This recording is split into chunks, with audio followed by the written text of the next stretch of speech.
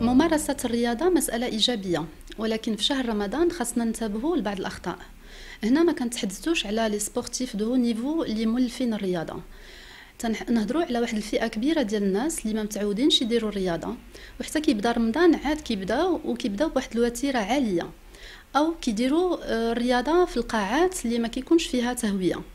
وتيبداو يعرقوا وهذا التعرق تيسحب لهم واش تيفقدوا من الدهون. وهو في الحقيقة تينقص لهم الماء والأملاح المعدنية بدرجة كبيرة. آه، هاد الأشخاص ممكن يتعرضوا لحالة اجتفاف أو حالة إغماء. الأشخاص أيضا اللي ما تيكونوش داروا كشف مسبق ما تيعرفوش الأمراض اللي عندهم وتيديروا الرياضه اللي آه، اللي ما قادرينش عليها. هادو أيضا تيقدروا يتعرضوا لأزمات أو وعكة صحية. بعض الناس آه، تيديروا الرياضة في ساعة قبل المغرب.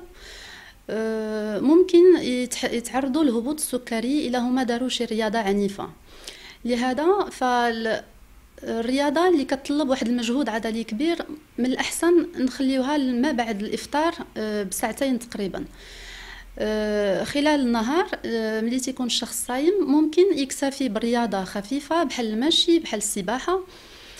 أو آه، يكتفي بالتحركات والأنشطة ديالو اليومية في العمل أو خصو يعرف بأن حتى هاد الأنشطة راها تعتبر رياضة آه، سواء أعمال منزلية أو في العمل ديالو أو حتى صلاة التراويح كل هذه الحركة ممكن تكون كافية للشخص خلال شهر رمضان.